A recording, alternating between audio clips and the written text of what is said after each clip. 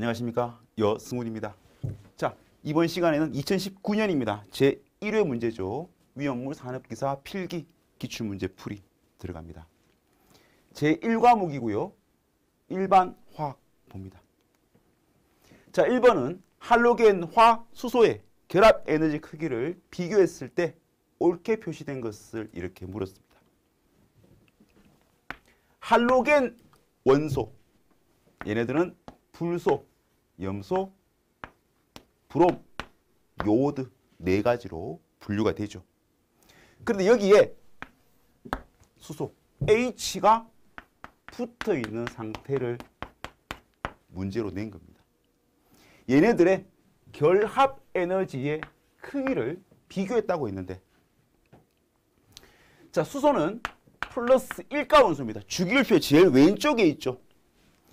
불소, 염소, 브롬, 요오드들은 마이너스 1가 원소로서 주기율표 제일 오른쪽에 있습니다. 따라서 플러스 1, 마이너스 1은 극과 극에 존재하기 때문에 얘들 둘이 만나면 굉장히 강한 결합력을 가지고 있다는 겁니다. 그런데 여기서 얘는 일단 수소로 똑같단 말입니다. 그렇지만 불소, 염소, 브롬, 요오드 중에서는 아래로 내려갈수록 덩치가 커지죠.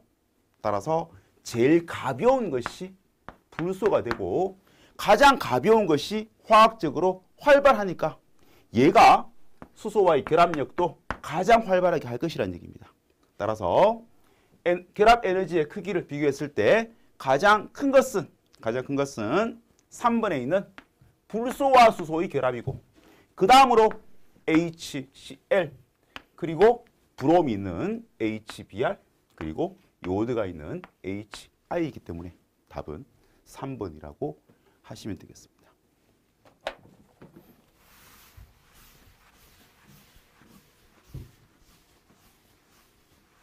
다음에 2번 문제는 기출 문제입니다. 나왔던 거죠. 다음 중 반응이 정반응으로 진행되는 것을 물었습니다. 이건요. 먼저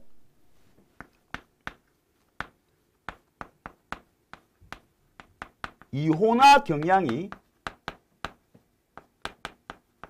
큰 금속은 보통 전지에서 마이너스 극에 생기고요. 반대로 이호나 경량이 작은 금속은 플러스 극에 플러스에 생깁니다. 그런데 전자는 마이너스 극에서 플러스 극으로 이동하는 경로를 갖는다는 것입니다. 대신 반대의 경우는 플러스에서 마이너스로 가는 건 전류의 이동 방향이 되거든요. 자, 따라서 전자는 마이너스 극에서 플러스 극으로 이동을 한다. 그렇다면 이온화 경량이 큰 금속은 작은 금속한테 전자를 준다라고 볼 수 있겠죠.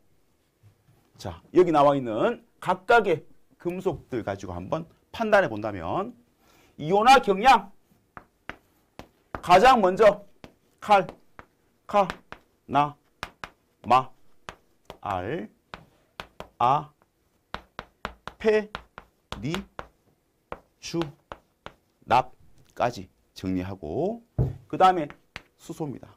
그리고 구, 수. 구리 다음에는 수원이죠. 구, 은 백금 이렇게 이 순으로 크다 그랬습니다.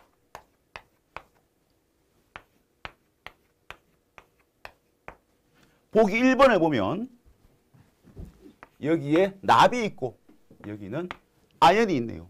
자, 납은 납은 이 위치에 있고 아연은 여기에 있습니다. 누가 더 클까요? 당연히 아연이 납보다 더 큰 이온화 경량을 갖고 있죠. 그렇다면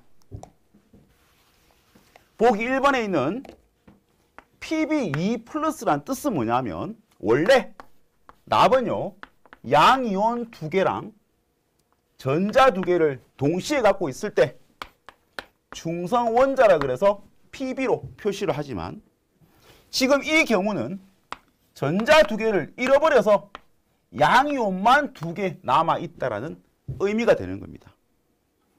아연이 이렇게 표시된 건 아연 역시 양이온 두 개와 전자 두 개를 동시에 가지고 있는 상태 그대로를 이렇게 표시를 했다는 것입니다. 이 반응을 보시면 처음에 납은 전자 두 개를 잃었기 때문에 양이온만 두 개 가지고 있었는데 반응 후에 납을 보니까 전자 두 개를 얻었겠죠. 그래서 중성인 상태로 나타났다는 얘기입니다. 이 의미는 뭐냐면 아연이 반응 전과 반응 후를 비교했을 때 아연은 반응 전에는 전자 두 개도 가지고 있었지만 반응 후에는 전자 두 개를 잃은 상태가 됐죠. 이 말은 아연이 납한테 전자를 줬기 때문입니다. 우리 방금 이온화 경량이 큰 금속인 아연은 납한테 전자를 어떻게 한다고요? 준다 그랬죠. 그래서 보기 1번의 경우가 오른쪽으로 반응을 진행하면서 전자를 내줘서 이렇게 만들어진 반응이기 때문에 이걸 정반응 오른쪽으로 진행이 될 때 정상적으로 전자를 주고받은 원리로 이해를 하시면 되는 거죠. 답은 1번이 답이 되는 겁니다.